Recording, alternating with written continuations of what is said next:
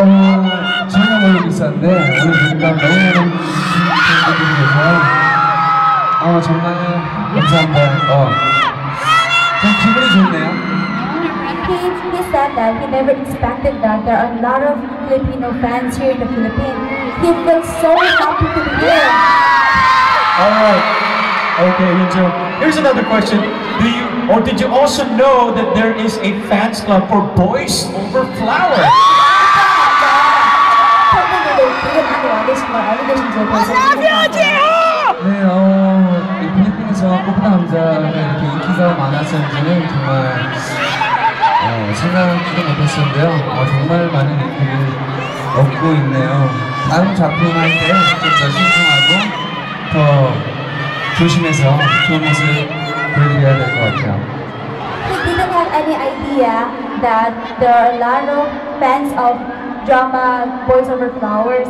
So he said that he's gonna promise that next drama he will really consider it very hard to choose so that all of you will be happy. And we also want Yunjo to know, of course, that Boys Over Flower, of course, the series, is very, very popular here. 어, 그리고 김현진 씨, 이 꽃보다가 정말 많이 인기 많았는데 네, 어, 꽃남자는 정말 많은 사랑을 받고 있다는 걸 지금 생각하고 있는데요. 어, 꽃보다 남자 많이 사랑해주시고요. Funny episodes to tell us while you are shooting Boys Over Flowers.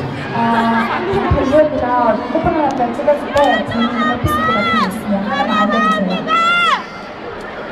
네, 꽃보다 남자를 찍었을 때 어, 가장 재밌었던 게 wait a lot of times.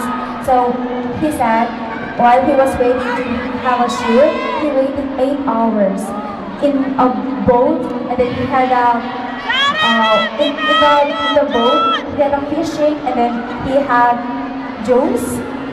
While he, after he had a fishing thing, he said that. Alright, okay. Here's a nice question about practice. You had lots of love scenes with Yu Hai Sun, uh, who acted as Dong Di in the drama. Are you really close with her in person? 꽃보다 남자에서 구혜선 씨랑 함께 남자를 출연했던 이제 F4 친구들이랑 이제 구혜선 씨, 잔디 씨랑 어, 최근에도 종종 만나서 회식 자리를 갖고 성인인 만큼 So we sometimes meet the member of F4 and mo si and meeting or having a dinner together to think about the next drama. Alright, so there you have it. You're listening. Alright, as you can see, Filipina 많은데 혹시 필리핀 여학생들 만든 대해서 궁금해 하세요. 네, 어, 필리핀 어, 나라보다는 어, 뭐 필리핀 여성분들도 여자친구로는 어, 가능하지 않을까요? 네. He said it's possible for all of you to be his All of us?